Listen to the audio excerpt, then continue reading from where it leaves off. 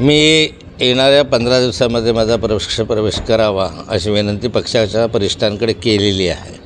आणि त्या दृष्टिकोनातनं बावनकुळे साहेबांनी सांगितल्याप्रमाणे पक्षाच्या संदर्भामध्ये प्रवेशाची जी प्रक्रिया आहे ती पार्टीकडनं पूर्ण झाल्यानंतर मला बोलवणं आलं जे मी त्या ठिकाणी मी जाईल. दिल्लीला माझा प्रवेश व्हावा अशी माझी इच्छा आहे. आणि त्याप्रमाणे मी या पंधरावीस दिवसामध्ये माझा प्रवेश करून निवडणुकीच्या कामाला लागेल.